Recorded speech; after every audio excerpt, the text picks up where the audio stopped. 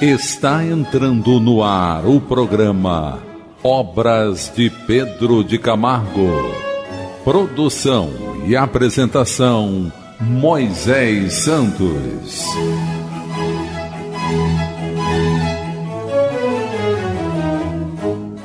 Caríssimos ouvintes da Rádio Rio de Janeiro, eu sou Moisés Santos e este é o programa Obras de Pedro de Camargo. Você, meu caro ouvinte, que está acompanhando conosco essa busca pelo entendimento dos valores do Evangelho, o entendimento de Jesus como sendo a própria verdade, as suas palavras libertadoras, a sua luz, o seu amor, o seu acolhimento, o exemplo vivo de nossas vidas. É o que o autor Pedro de Camargo estabeleceu como concurso na obra que estamos estudando, o livro Em Torno do Mestre. Você pode acompanhar conosco, porque nós estamos seguindo capítulo após capítulo. É da editora da Federação Espírita Brasileira. E hoje nós vamos estudar o capítulo cujo título chama-se Avareza. O avarento, meu caro ouvinte, é aquele que não demonstra generosidade, que apresenta apego extremo ao dinheiro e aos bens terrenos. E Pedro Camargo continua ensinando-nos: Guardai-vos e acautelai-vos de toda avareza, porque a vida de um homem não consiste na abundância dos bens que possui. Na verdade, essas palavras foram ditas pelo próprio Mestre Jesus e muito bem captada por Lucas, Disse o maior expoente da verdade que os homens conhecemos. Ele está se referindo a Jesus. Vamos elucidar esse verso. Elucidando o verso. É do Evangelho de Lucas, em seu capítulo 12, versículos 13 a 15. E disse-lhe um da multidão: Mestre, diz a meu irmão que reparta comigo a herança. Mas ele lhe disse: Homem, quem me pôs a mim por juiz ou repartidor entre vós? E disse-lhes: Acautelai-vos e guardai-vos da avareza, porque a vida de qualquer não consiste na abundância do que possui.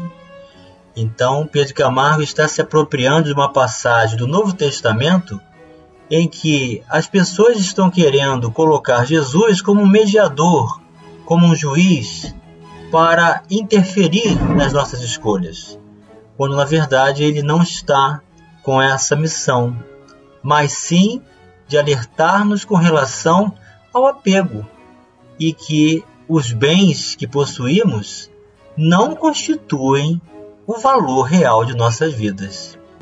E Pedro Camargo continua: em seguida, para corroborar aquele assertivo, corroborar, meu caro ouvinte, significa confirmar.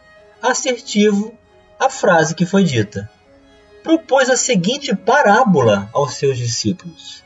O caro ouvinte já sabe que uma parábola é uma história com fundo moral que qualquer um de nós pode se apropriar em algum nível de um de seus personagens para tirar grande proveito de ensinamentos. As terras de um homem rico produziram muito fruto, e ele discorria consigo: Que farei, pois não tenho onde recolher os meus frutos? E concluiu: Farei isto: derribarei os meus celeiros e o reconstruirei maiores e aí guardarei toda a colheita e os meus bens. E em seguida direi: Minha alma, tens largos bens em depósito para longos e dilatados anos. Descansa, come, bebe e regala-te. Mas Deus disse-lhe: Nécio, que significa tolo, esta noite te exigirão a tua alma e as fazendas que ajuntaste, para quem serão? Vamos buscar as diretrizes libertadoras desta parábola. Diretrizes Libertadoras.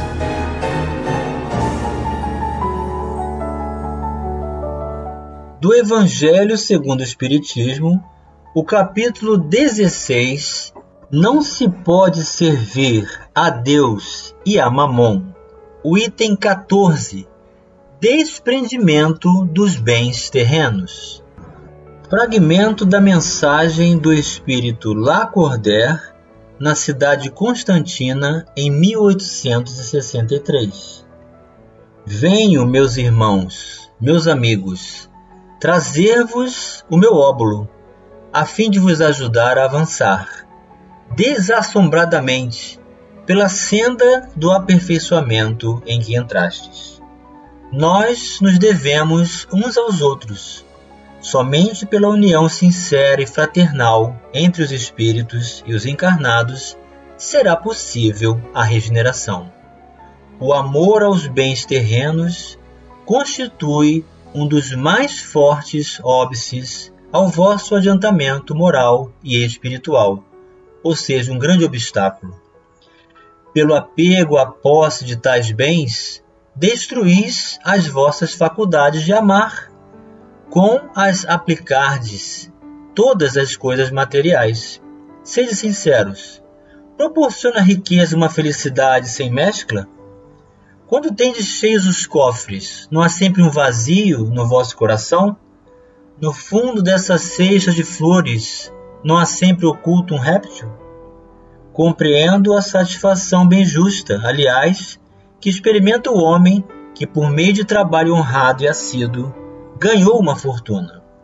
Mas dessa satisfação, muito natural e que Deus aprova, há um apego que absorve todos os outros sentimentos e paralisa os impulsos do coração, vai grande distância, tão grande quanto a que separa da prodigalidade exagerada a sórdida avareza dois vícios entre os quais colocou Deus a caridade, santa e salutar virtude, que ensina o rico a dar sem ostentação, para que o pobre receba sem baixeza.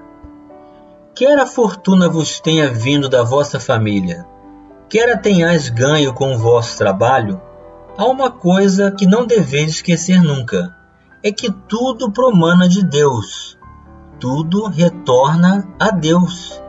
Nada vos pertence na terra, nem sequer o vosso pobre corpo.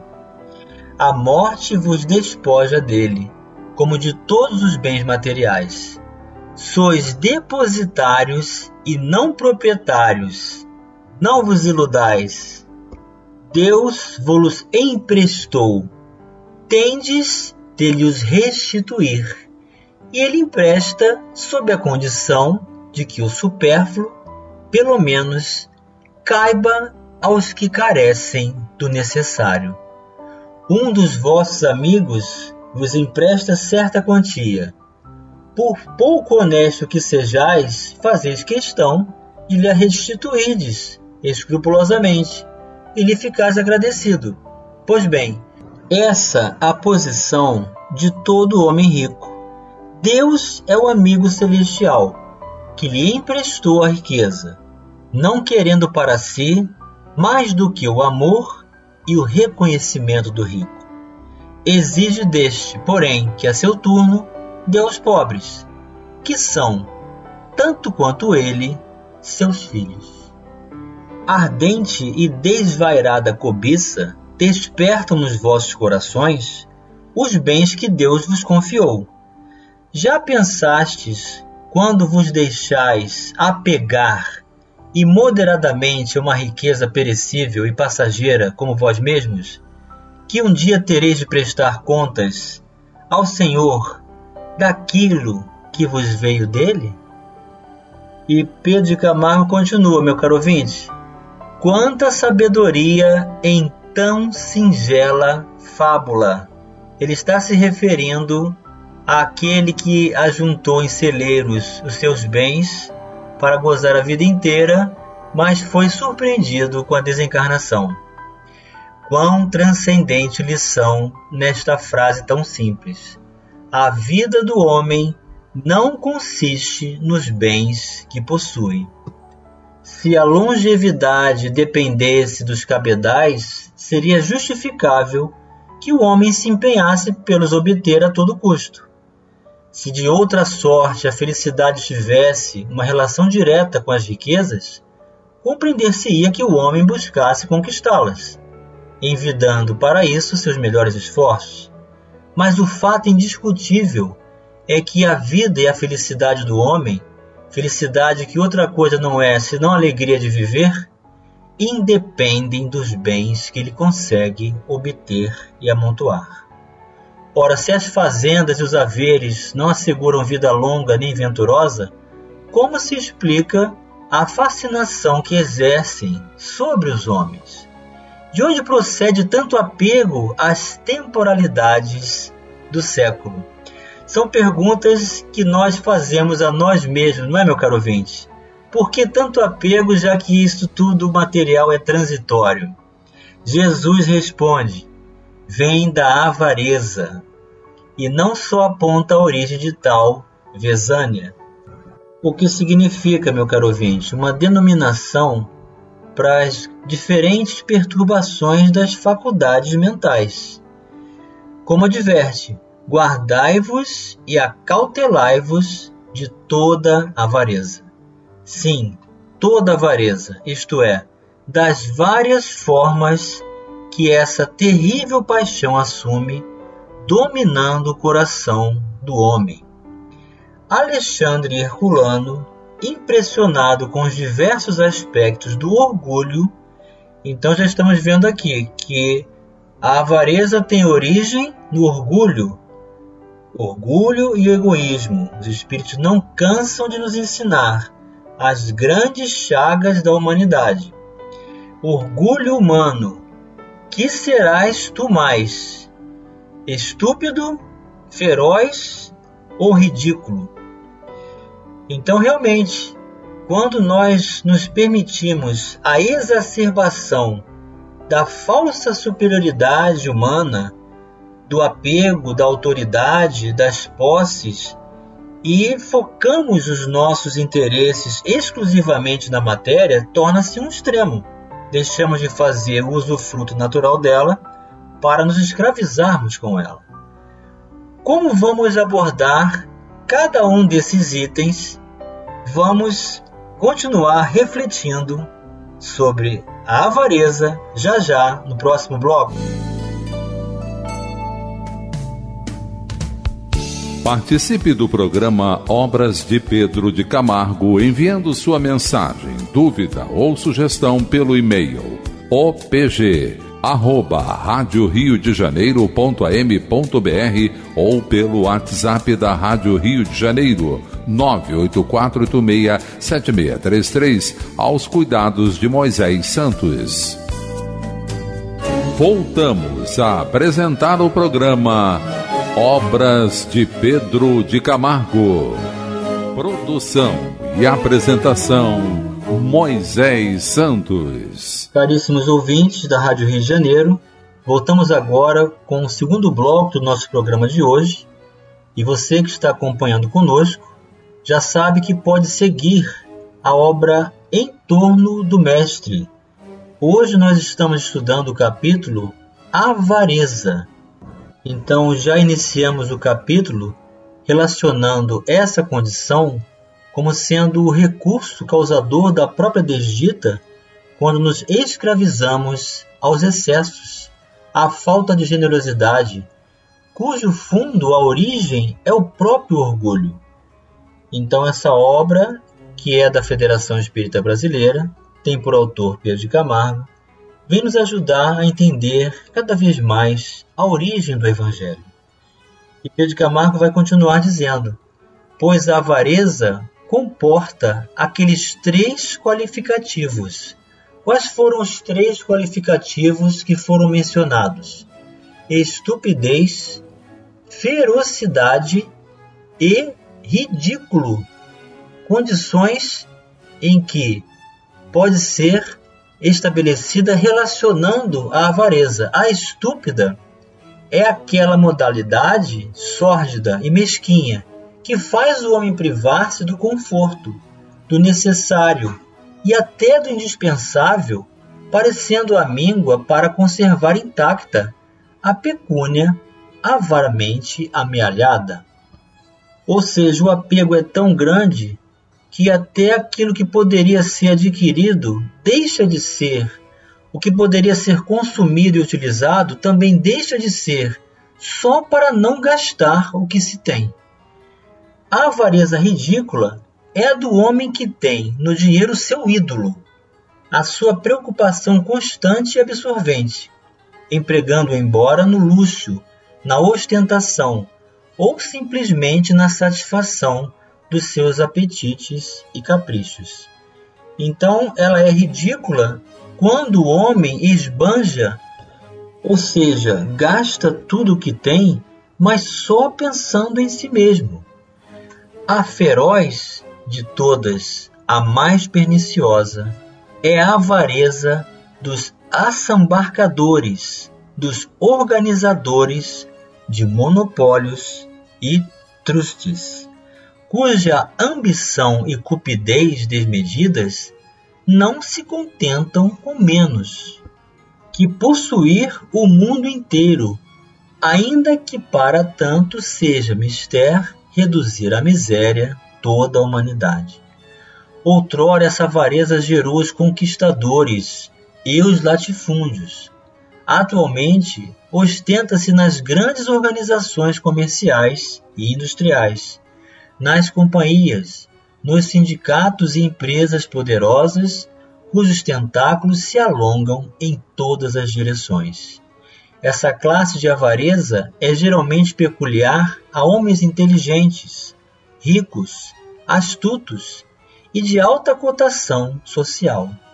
Das três, é como ficou dito, a mais perniciosa e a que mais danos tem acarretado à sociedade de todos os tempos. Um só avaro dessa categoria, ou uma comandita de meia dúzia deles, pode reduzir à fome uma cidade, um povo inteiro. É responsável pela carestia e pelas crises econômicas que convulsionam o mundo, dando origem às lutas fratricidas, que por vezes estendem o negro véu da orfandade e da viuvez sobre milhares de crianças e de mulheres indefesas.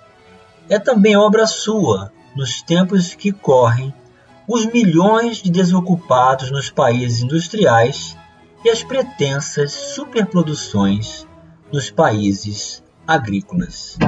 Vamos elucidar estes conceitos. Elucidando conceitos. O Livro dos Espíritos, da sua terceira parte da Lei da Igualdade, a questão 811. Será possível e já terá existido a igualdade absoluta das riquezas? Não, nem é possível. A isso se opõe a diversidade das faculdades e dos caracteres.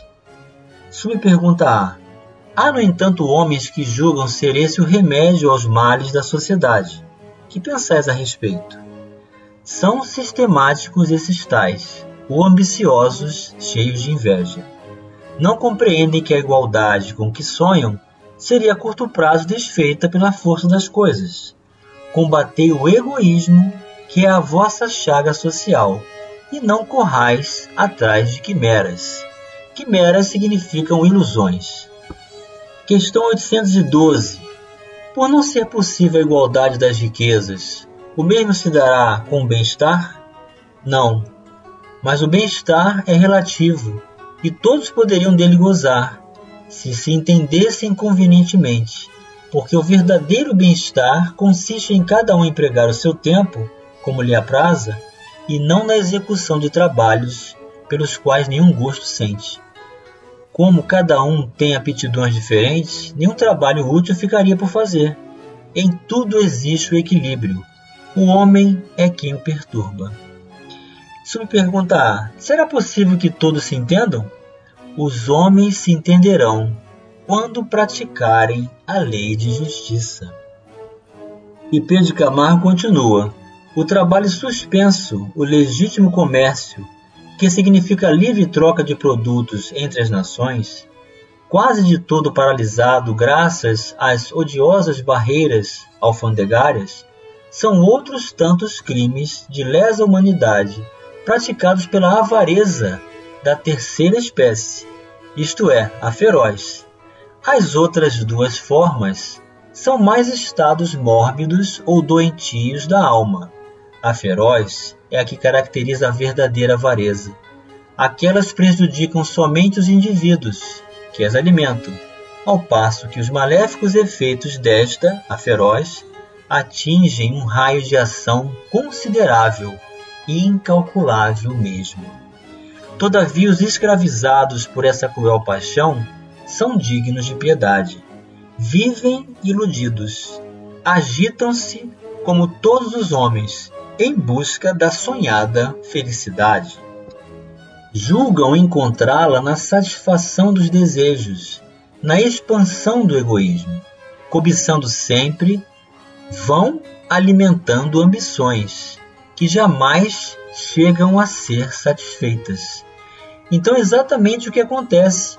Quanto mais nós, encarnados, nos locupletamos, nos identificamos, nos apegamos com as necessidades materiais, ou fazemos dessas necessidades o supérfluo, criando as necessidades das necessidades, mais damos expansões ao egoísmo, às ambições e nunca se encontra satisfação, porque a verdadeira satisfação está no bem-estar de espírito. Se estivermos resolvidos conosco mesmo, realizando o nosso gosto pessoal, realizando aquilo que está dentro das perspectivas das nossas facilitações e aspirações. Entretanto, a nossa alma, para ser feliz, não precisa construir celeiros de proporções desmesuradas como fez o rico da parábola. Não precisa mesmo de um céu imenso, recamado de sóis refulgentes. Basta-lhe uma nesga azul, onde brilhe a estrela do amor. Então, onde quer que estejamos, meu caro ouvinte, se estivermos bem resolvidos conosco mesmo, teremos encontrado aquele reino de Deus que Jesus convidou para cada um de nós realizar estabelecer, construir. Ele já existe como forma de semente. Então, brilhe a estrela do amor. E chegou o momento, meu caro ouvinte, de você receber a mensagem do Mestre. Mensagem do Mestre. E Jesus propôs-lhes uma parábola dizendo: A herdade de um homem rico tinha produzido com abundância. E arrazoava ele entre si, dizendo: Que farei? Não tenho onde recolher os meus frutos. E disse: Farei isto: derribarei os meus celeiros, e edificarei outros maiores. E ali recolherei todas as minhas novidades e os meus bens. E direi à minha alma: Alma, tens em depósito muitos bens para muitos anos. Descansa, come bebe e folga.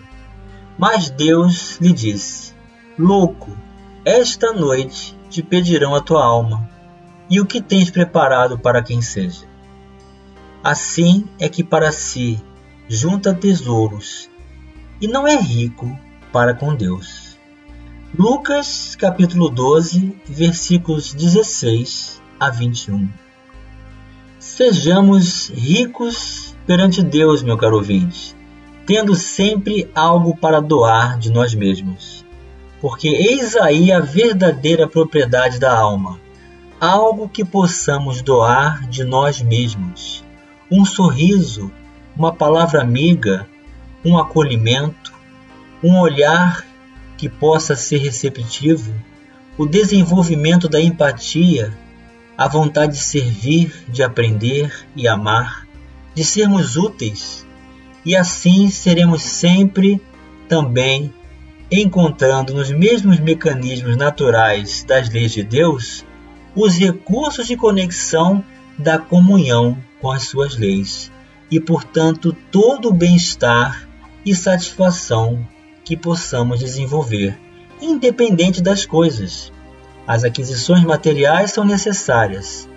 O uso natural do corpo, da sua condição natural dos prazeres, da administração das suas necessidades são muito importantes.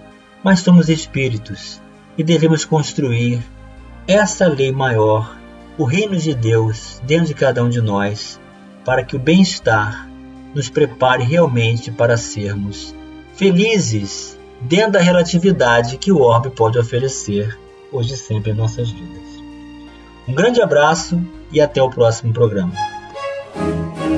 Você ouviu o programa Obras de Pedro de Camargo. Produção e apresentação Moisés Santos. Santos. Santos. Santos.